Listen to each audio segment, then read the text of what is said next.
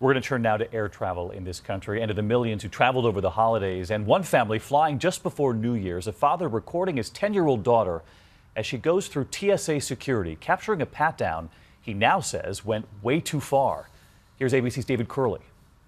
It's not something we see every day. A 10 year old girl patted down by a TSA officer, her father watching and recording. It was excessive, it was invasive. I was pretty much boiling, uh, you know, in my head. What happened is At the Raleigh airport, two days before the new year, a juice pouch inside his daughter's bag set off an alarm.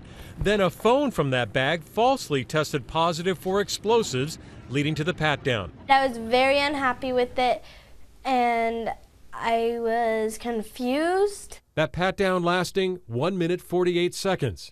Thank you for your patience. I appreciate it. Okay, thank you for doing your job. TSA in a statement says its procedures allow a pat down of a child under certain circumstances and that this pat down followed approved procedures. Getting screened by the TSA. Oh. Payne says he complied at security, but after returning home became convinced TSA policy should change.